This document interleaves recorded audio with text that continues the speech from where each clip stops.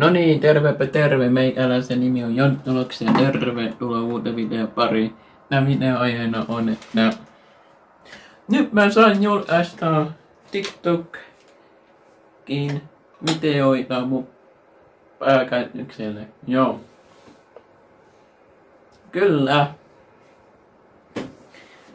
Aamulla ei vielä pystynyt julkaisemaan mitään hetki sitke, sitten ka- testasin, että pystynkö lähettämään videoita TikTokiin mun pääkäyttäjälle. Ja arvaa mitä? Se onnistuu!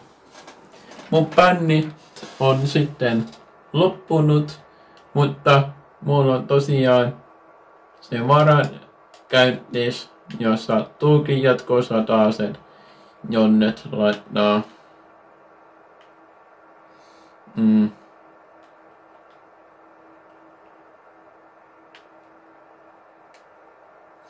Mä unohin, unohin tänne mun TikTok kanavalle julkaista mun vitosluukku, mutta mä pistin jo tänään, mun ei se haittaa, jos yksi kerta jää pois. Et joo. Aina voi katsoa ö,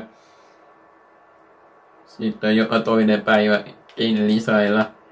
Ei se välttämättä ole jo joka päivä tarkoitus. Eihän se tavallaan suokka tuolla kanavalla joka päivä tarkoitus lisäillä.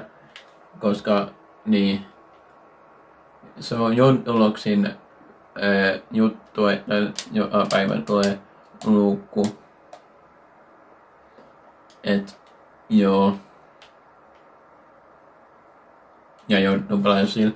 Mutta nyt mä olen niin iloinen, että Joo, tänään tulee monta, monta videota tonne TikTokiin sen takia, koska mun bännit loppus. Joo. Uhu! Vihdoin viimein koko ilta meni siihen, että ei saanut enää julkaista videoita TikTokiin. Ja joo.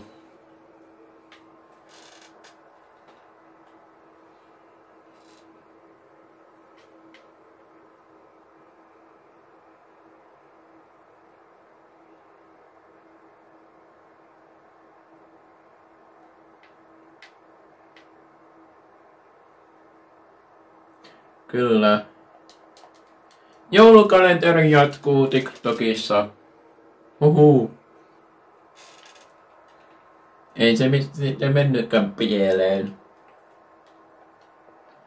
Et, joo. Hyvä niin. Mutta joo, tämä video taitaa olla nyt tässä se on moro.